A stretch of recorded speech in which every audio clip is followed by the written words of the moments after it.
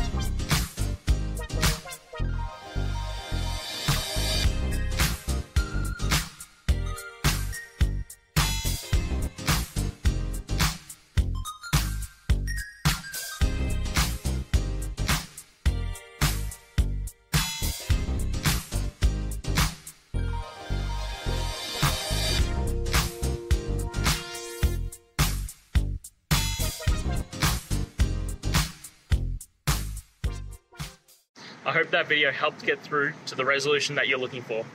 If it did, please hit subscribe. I really appreciate it. And until next time, I hope you have a great one.